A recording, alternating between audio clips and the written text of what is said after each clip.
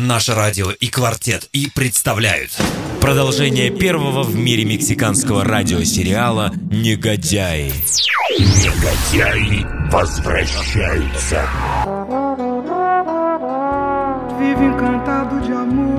Антонио!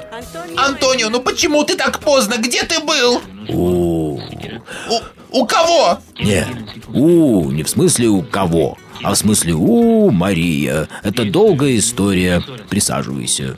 Не-не-не, не, не на кресло, прямо здесь и снимай с меня ботинки. А ты сам что, не можешь? Нет, у меня заняты руки, я перебираю ими мелочь в карманах. Ой-ой-ой, так где же ты был? Я только что вернулся со Всемирной шахматной Олимпиады.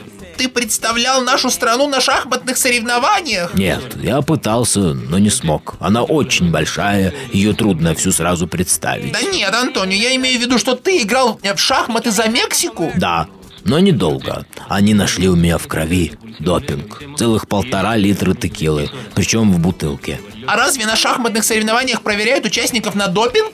Обычно нет, но когда я съел коня противника, ну, чтобы отбить запах текилы, конина же имеет специфический запах, они что-то заподозрили и дисквалифицировали меня на две минуты. За это время он успел сделать 8 ходов и выиграть партию, мой соперник, я имею в виду. Негодяй, а? Да, а ведь у меня была выигрышная позиция. Я только что сделал лакировку, а, эту, рокировку, и собирался ударить его доской. Он бы упал со скамейки, а я бы съел все, что он разложил на своей газетке. Что? Э, Что?